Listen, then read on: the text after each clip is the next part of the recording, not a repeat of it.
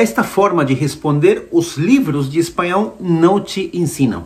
Aprende agora.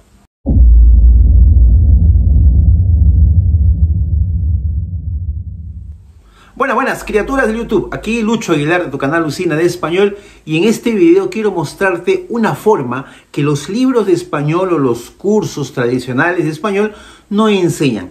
Estoy hablando de una situación muy específica, cuando un nativo le pregunta a otro de forma física o principalmente a través del teléfono, hola, ¿cómo estás? Una respuesta que se escucha con mucha frecuencia es el verbo estar más gerundio. Mm, ¿Te resultó un poco complejo eso, verbo estar más gerundio? No te preocupes que es muy fácil, lo vas a entender perfectamente.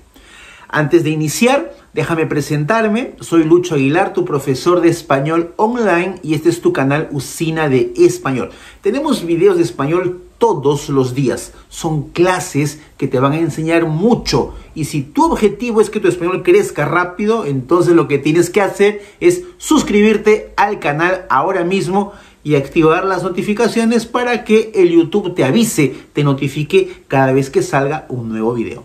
Muy bien. Bueno, sin más demora, vamos directo al asunto. Acompáñame. Muy bien. Observa la primera situación. La persona A dice, hola, ¿cómo estás? ¿Qué cosa nosotros aprendemos normalmente en una escuela de idiomas?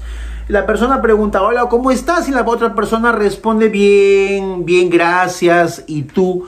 Pero cuando estamos conversando con una persona que nosotros ya conocemos, cuando estamos conversando con un amigo o amiga, por ejemplo, puede ser a través del teléfono, cuando escuchamos la siguiente pregunta, hola, ¿cómo estás? Es muy común responder así, mira, hola, aquí trabajando, mira, aquí trabajando, o, eh, podrías decir también, aquí estoy trabajando verbo estar más gerundio, pero lo importante aquí es el gerundio, el verbo que termina en N de O, trabajando, aquí trabajando, o aquí estoy trabajando.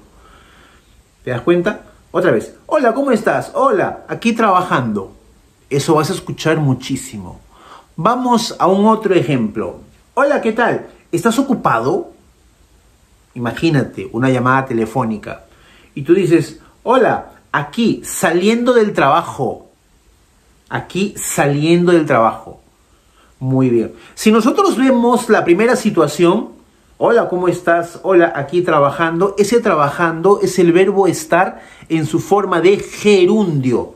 Si el verbo termina en ar, como trabajar, el gerundio será con ando. Mira, trabajar, trabajando, cantar, cantando, estudiar, estudiando.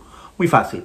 Y cuando vemos aquí el segundo gerundio, que es en el segundo diálogo, dice saliendo, el verbo en cuestión es el verbo salir, con i, salir. Y cuando un verbo termina en er o en ir, el gerundio se forma con iendo, iendo. Es por eso que aquí dice saliendo. Por ejemplo, vivir, viviendo, sufrir, sufriendo. ¿Te das cuenta? Es importante que tú anotes estas frases en tu cuaderno para que puedas practicarlo después. Vamos al próximo. Dice, hola José, ¿puedes hablar?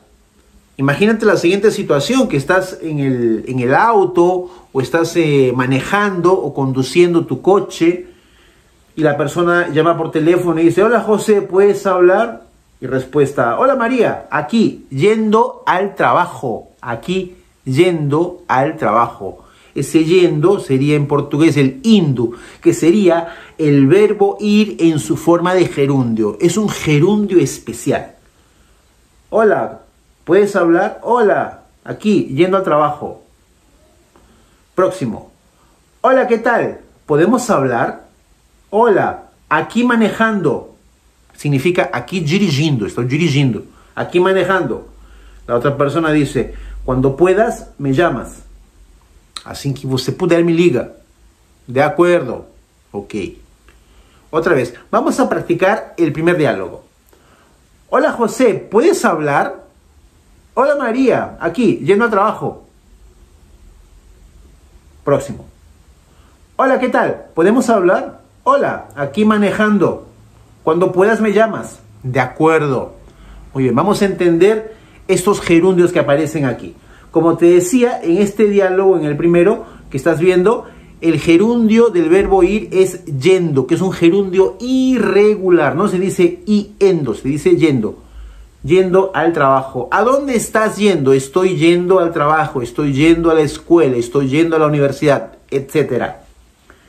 Y el próximo gerundio es manejando, el verbo manejar, que significa dirigir.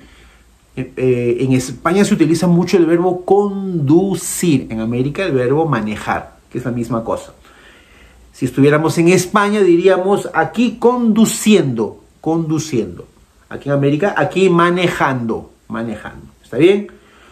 Muy bien. Bueno, anote esas frases que son muy importantes, muy importantes. Estos mini diálogos que tú acabaste de ver y que tú acabaste de copiar en tu cuaderno son extraídos de situaciones reales.